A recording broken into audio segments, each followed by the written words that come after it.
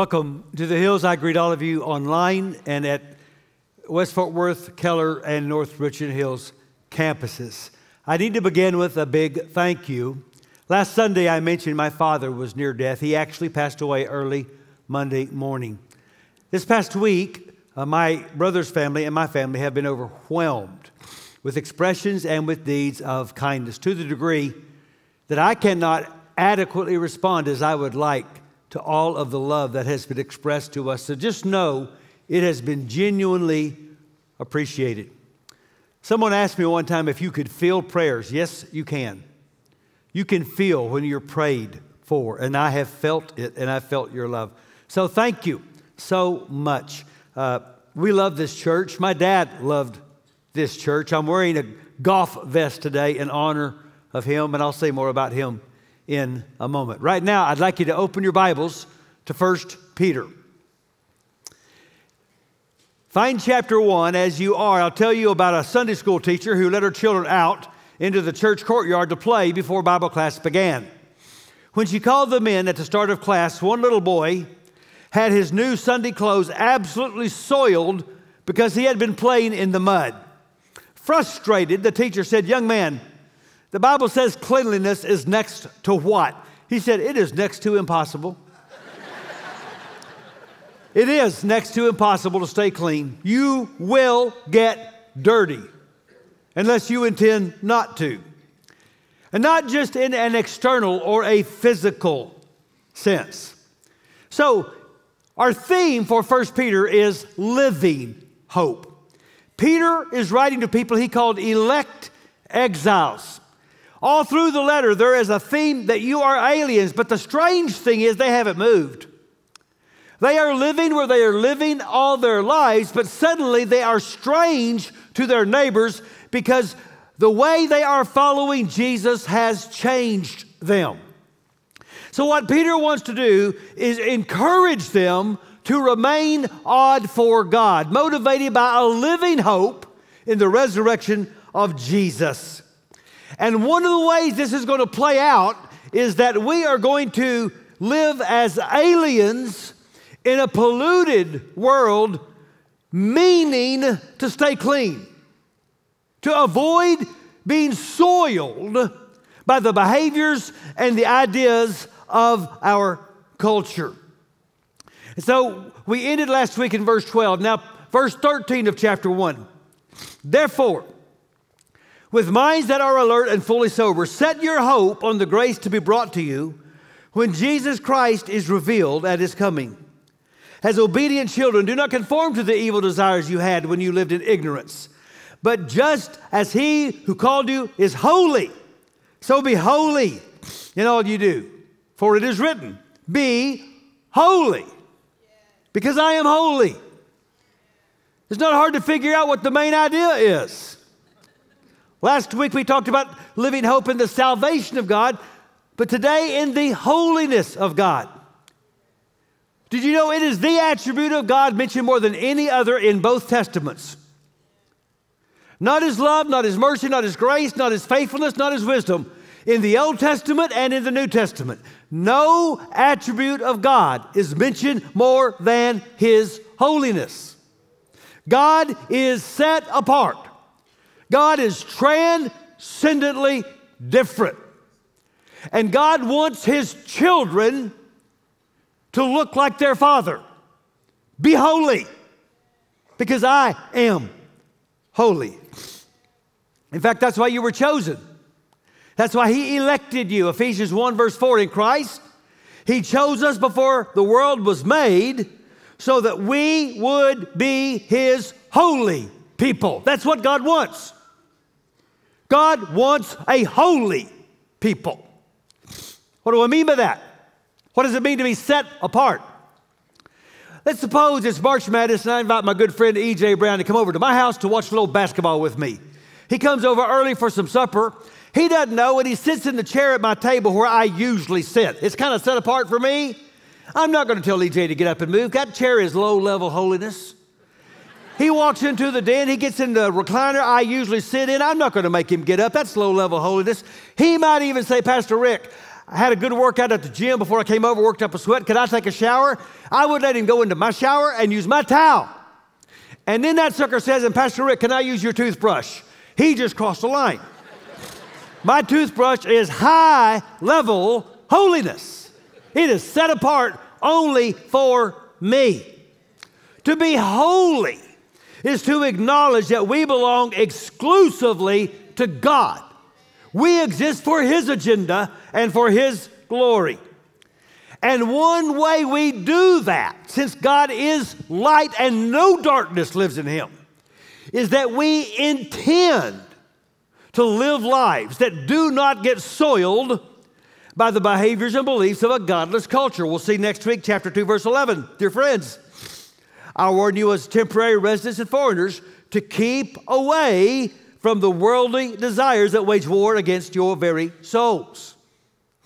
Be holy because I'm holy.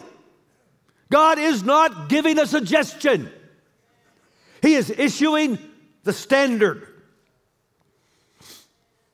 But it's hard when holiness makes you odd. So, how do you motivate people to be odd for God in the area of holiness? Now, one way you can do it is with warnings. The Bible does that sometimes. I love retelling the story of the middle school in Oregon years ago. The young girls, as they reached teenage years, were putting on makeup, they were putting on lipstick in the bathroom, and leaving lip prints on the mirrors. The brilliant principal got all the girls in the bathroom, said, Ladies, when you kiss the mirrors with your lipstick, it's hard to clean. She turned to the custodian. Show the girls how hard it is to clean. He took his squeegee, dipped it in the toilet, and began to clean the mirrors and they've had no more problems with the girls kissing the mirrors.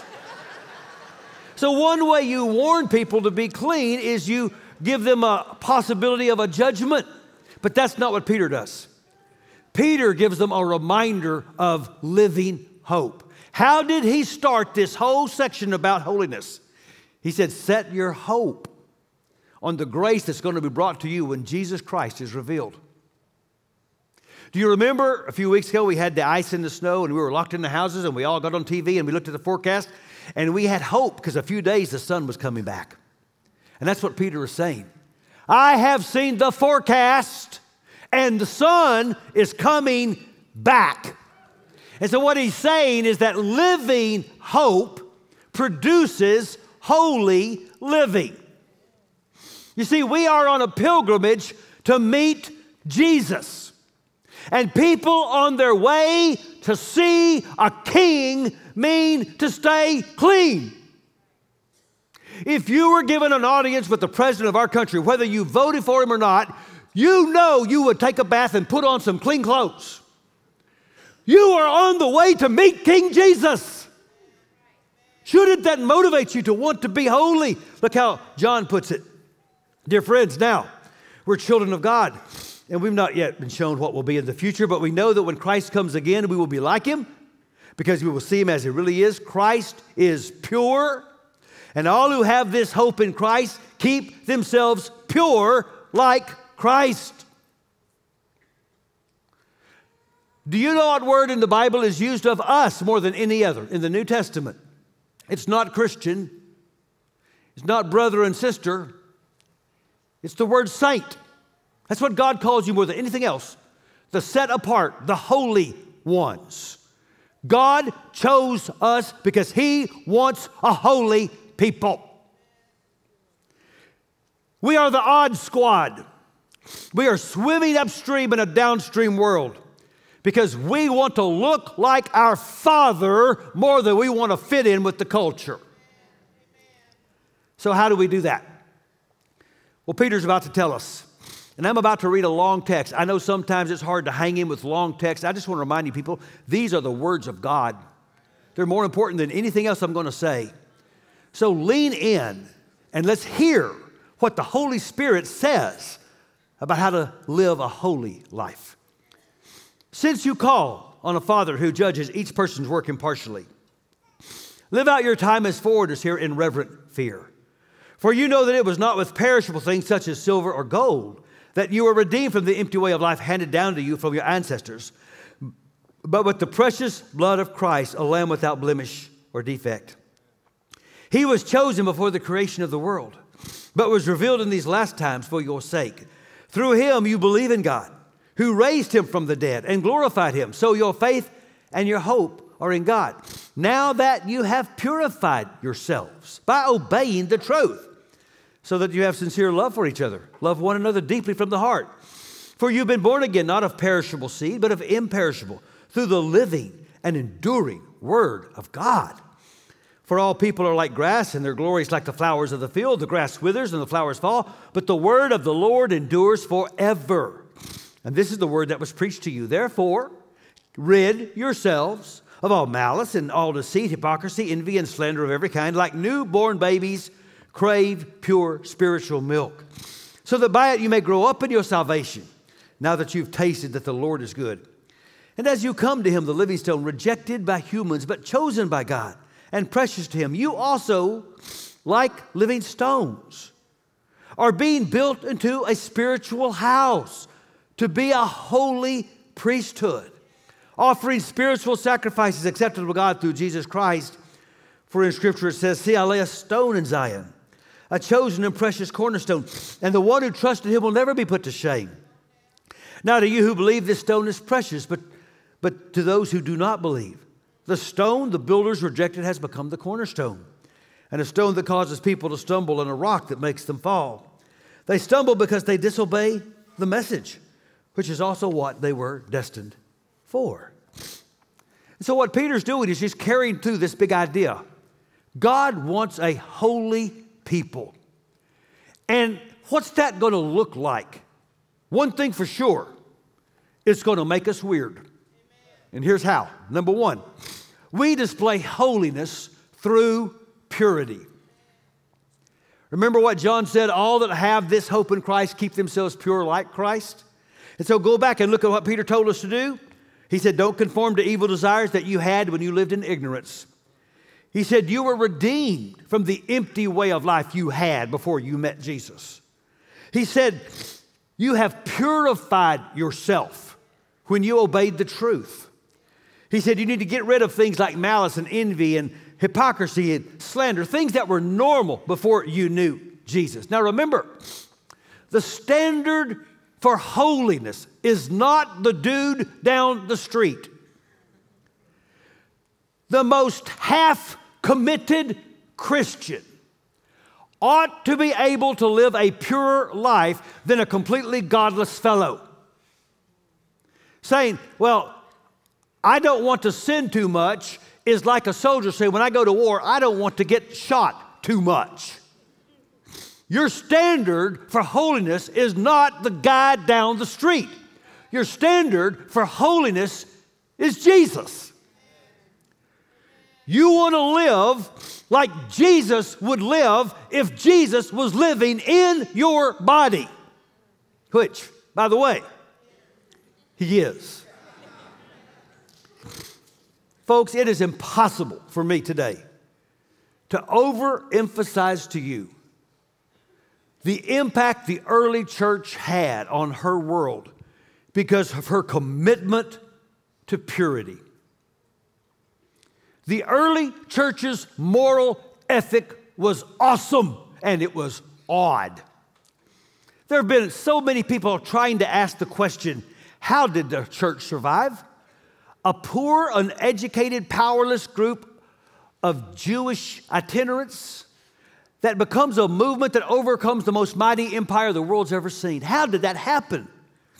It didn't happen because they accommodated and said, We will change our values to fit in so that you will not pick on us. It happened because the church resolutely said, We are going to offer a counter narrative to the story everybody else is hearing. They've noticed five ways that early Christians, in their moral code, were absolutely odd one was their commitment to nonviolence. They took Jesus seriously. Love your enemies. They said to the Romans, You can kill us. We're not picking up swords and killing you back. So odd. Another was their commitment to radical generosity. Their belief that people with much ought to help people with little. There was nothing like that in the ancient world. The parable of the Good Samaritan, nobody else taught such a thing. Their commitment to poor people was so odd. Another was their resolute stance on the sanctity of life. The early church opposed abortion, which was practiced in the Roman world, and they opposed the more common practice of infant exposure. In that day, if you had a child and you didn't want that child, and that typically meant it was a girl, you could take the child to a dump and let it die. And the Christians would come along, even though they didn't have much means themselves, and they would pick up all these babies and take them into their houses. They were so strange. Another strange thing about the early Christians was their commitment to multi ethnicity. The early world had never seen anything where people would gather in the same home, different races, different tongues, different nationalities, different economic stratas, and they would get together around the same table and call each other brother and sister. That was so weird. And maybe most of all, the strangest thing about the early church was their rigid sexual ethic. The early church was resolute. For hundreds of years, there was no change on this. Sex belongs only in a heterosexual marriage. One man and one woman married for life. And they did not compromise that. Now, in the world they lived, that was weird. The Roman culture basically said sex is whoever, however, whenever. Just like we say today. The idea is that we need to liberate sex. So we've had our sexual liberation since the 60s. And what has it brought us? Look at the statistics. Our families are more broken than ever, divorce is rampant, more kids than ever grow up without mothers and fathers. Teenage mental illness is skyrocketing. You show me the data that sexual liberation has made us a better society. Because what happens is when we say we're taking all the strings off sex, we're going to divorce sex from marriage, we're going to divorce sex from uh, children, we're going to divorce sex from commitment and romance, it simply becomes a game of who's got the most power. And that almost always means the weak, which almost always means the children and the women suffer the most. This is one reason why women were so attracted to the early churches. In a culture where they were taught they exist simply to satisfy the lust of powerful men, they heard a message that said, You are an equal image bearer of God, and you deserve the loving, loyal affection of one man only. In fact, there was another interesting phenomenon. Remember, they would take these little girls and put them in the dumps. Well, what happens then in a culture where there are more boys than girls when it's time to marry? Where can I find women to marry? You know where they were? They were in the churches. And so these dudes have got to go to these churches and they meet these girls who say, uh uh uh, I'm a daughter of God and I'm going to be treated like one.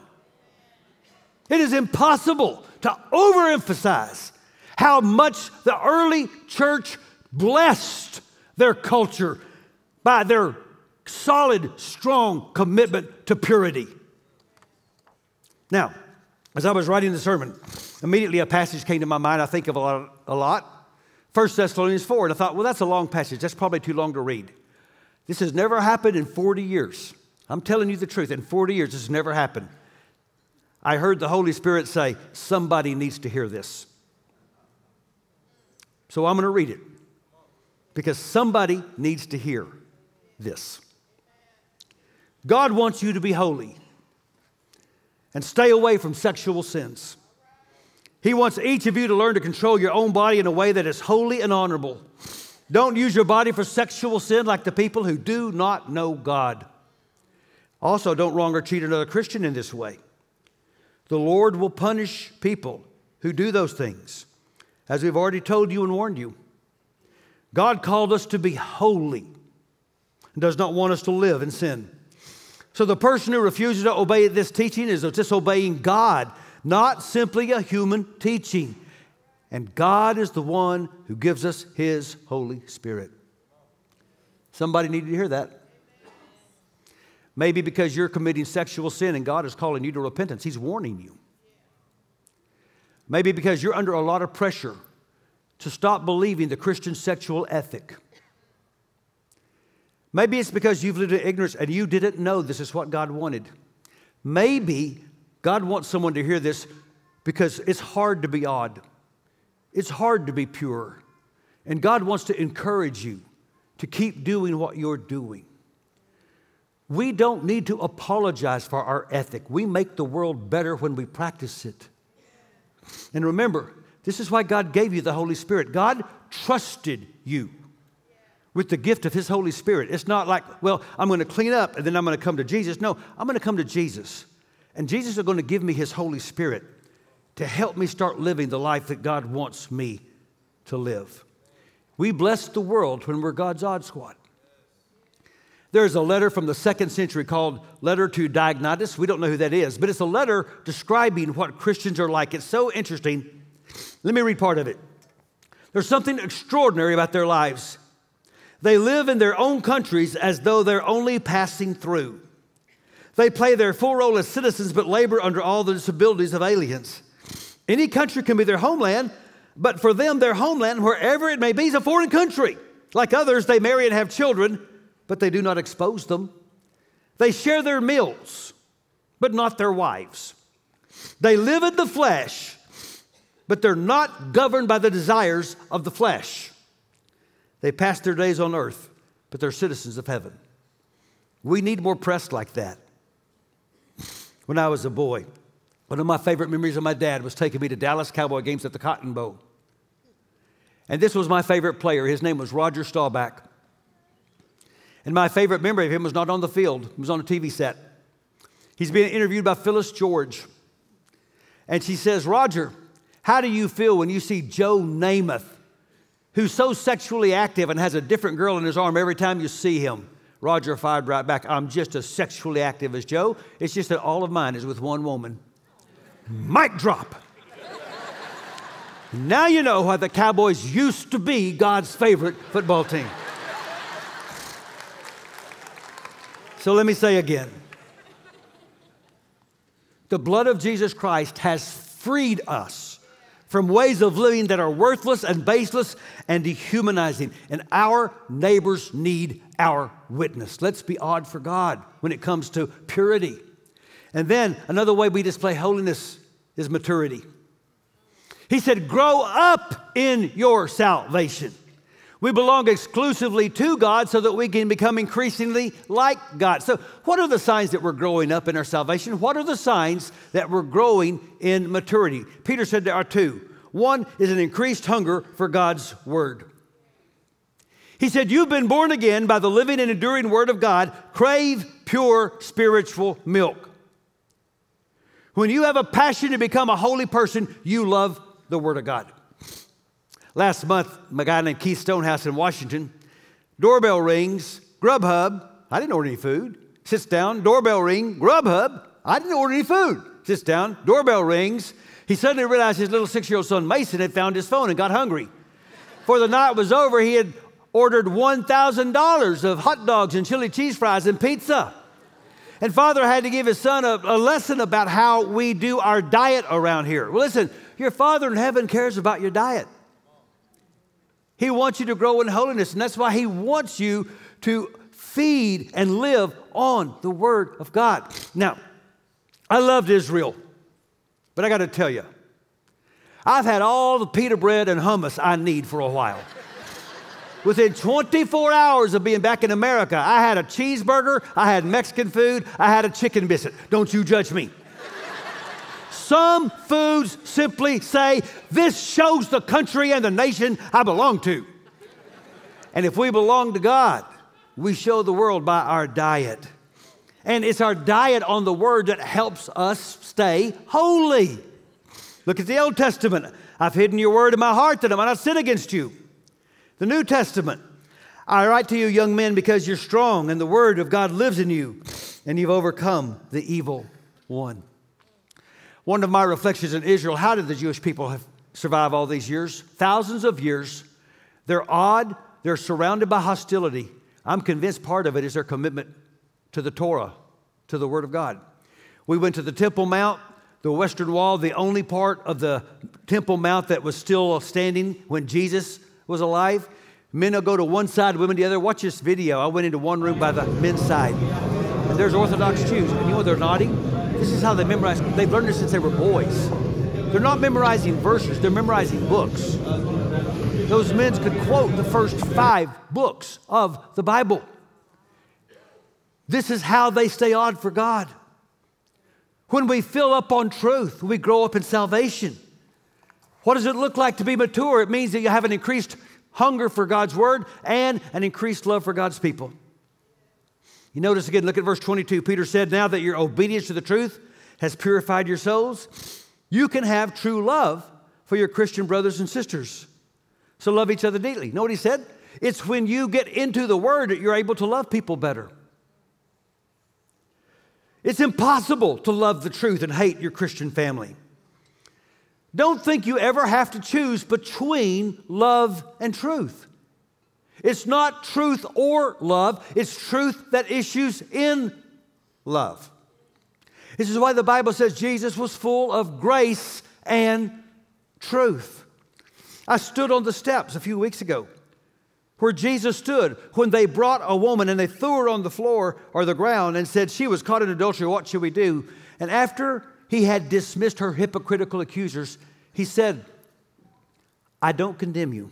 That's a word of grace. Now go and sin no more. And that's a word of truth.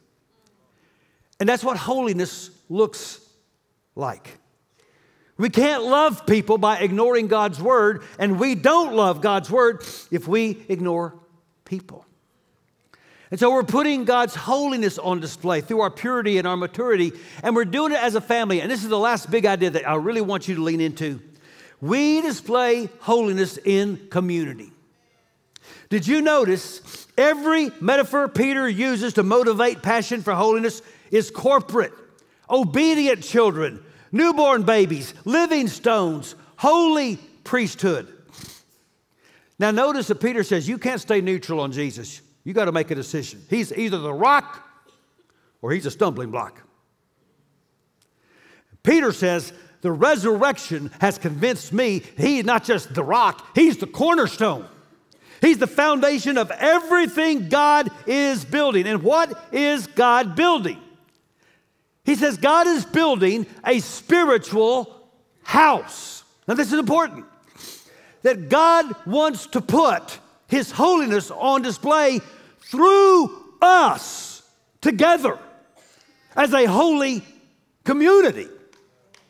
Let me illustrate like this Every parent knows what this is. This is a Lego block. You know what it is because you stepped on one in the middle of the night and had to put your hand over your mouth to keep from saying a bad word.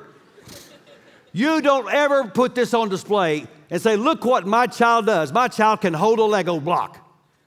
Here's what you put on display your child gets his blocks out and he builds a Luke Skywalker X Wing fighter. Now, your child builds that, and you post it and say, Look what my child built with all those blocks. This is so cool, only a Jedi Knight or a senior pastor even ought to have one. and by the way, it's staying in my office, so don't even ask. Now, here's the point God isn't just making you holy, or you holy, or you holy, He's making us holy together. And what God is doing is He's building a temple, and it's an amazing temple. The world's never seen a temple like this temple because this temple is getting built out of stones out of all kinds of different quarries, ethnically different, gender different, socio-economic different. And God's taken all these stones and He's putting them together in the same house. He's building a holy temple with all these different stones. Ephesians 2.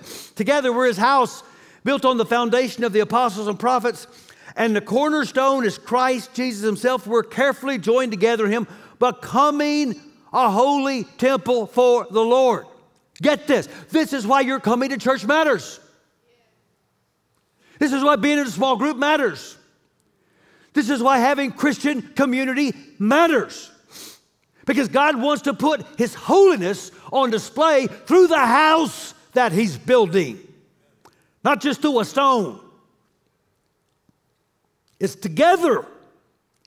That our oddness displays the holiness of God. And God has always wanted a people that would do this. He's always wanted a people that would represent Him and tell His side of the story. And so notice how the text ends.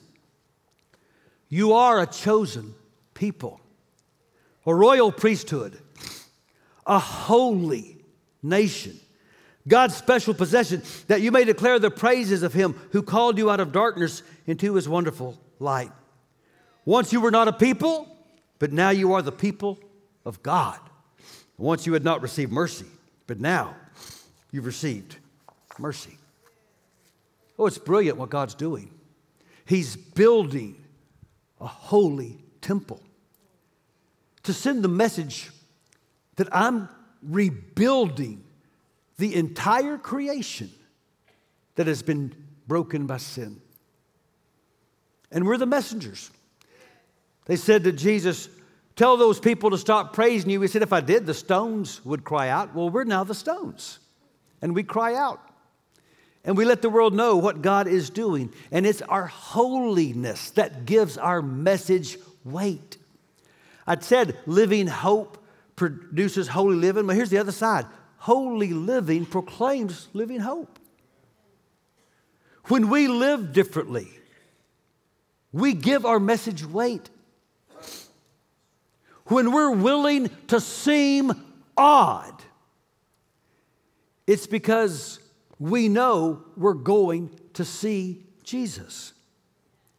We're on our way to meet our King. And that's why we stay holy. So let me close quickly with a few thoughts about my dad. He left me many lessons and legacies.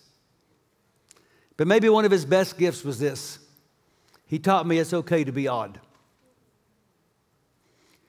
When we went and visited extended family and they weren't Christians, we got up on Sunday morning and we went to church.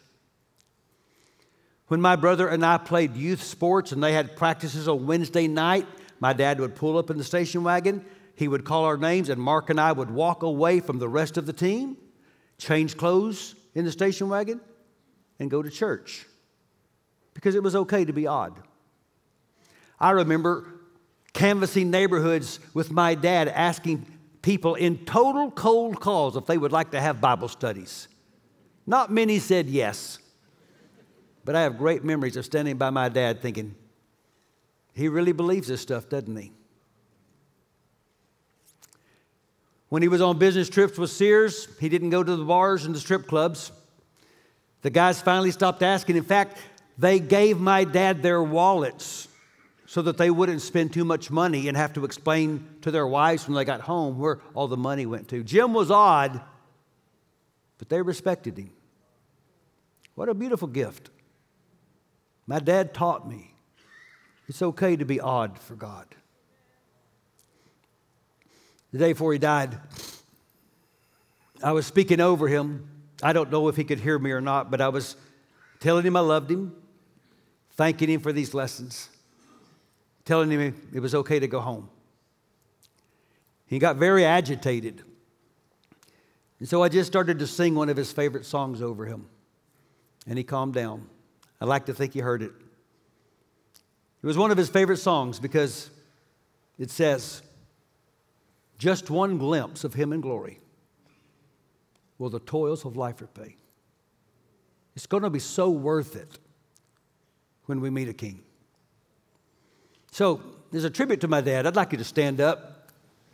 Every campus, even online, and I'd like to sing that song. You're going to have to help me. There's no band, there's no praise team, just a raspy voiced pastor, okay? But sing it with me and think about what we're thinking about. Sing the wondrous love of Jesus, sing his mercy and his grace. In the mansions bright and blessed, he'll prepare for us a place. When we all get to heaven, what a day of rejoicing that will be. When we all see Jesus, we'll sing and shout the victory. Let us then be true and faithful, trusting, serving every day. Just one glimpse of Him in glory will the toils of life repay. When we all get to heaven, what a day of rejoicing that will be. When we all see Jesus, we'll sing and shout the victory. Yeah. Right now, I feel like I can hear my dad saying, Stay on, son. It's so worth it. So, Father, thank you. Thank you for choosing a people to be your own, for rescuing us from worthless and wasteful ways of living, for freeing us for the kind of life that doesn't just honor you, but blesses the world. And so give us more passion, more courage, more resilience to live the odd life. And give us boldness so when people say, But why do you do the strange things you do? We can say, Because we're on our way to meet Jesus. Would you like to come and meet Jesus with us? We pray in His name. Amen.